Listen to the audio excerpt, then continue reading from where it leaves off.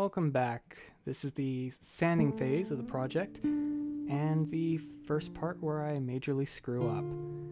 Now, the first thing you'll notice is that I'm taking all the paint off. Worst idea ever. Uh, you'll only want to do a light sanding, just rough it up so the new layer of paint will stick. The main reason for this is because when you sand all the paint off, you make a really rough outline, gouges and deep grooves. Uh, it just gets to be a pain trying to fix it afterwards. And I spent hours trying to sand it smooth, and even then, it uh, it didn't come out as well.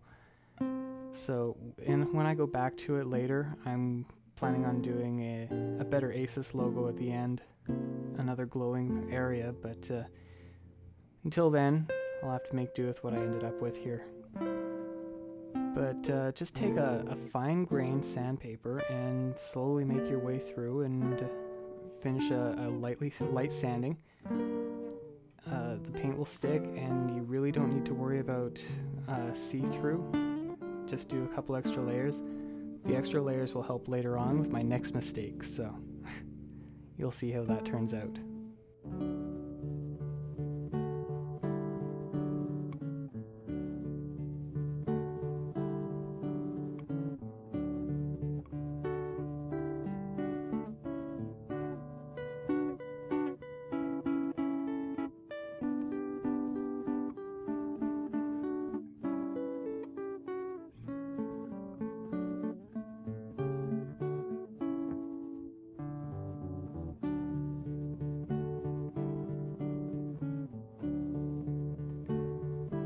Anyways, continue to watch, see how badly I make a mistake, and like this is the first attempt I've ever had at doing a sanding re- respray and all that. You can use the same method uh, of one light quick sanding just to rough it up as a way to do a repaint of a laptop that has chips or uh, paint issues, scratches, and just brighten it up and make it look like new. This is a little more in depth here I am at another location, and yeah, so I spent a lot of time trying to get all that paint off, and it was a pointless endeavor. But feel free to finish watching the video and uh, enjoy the music.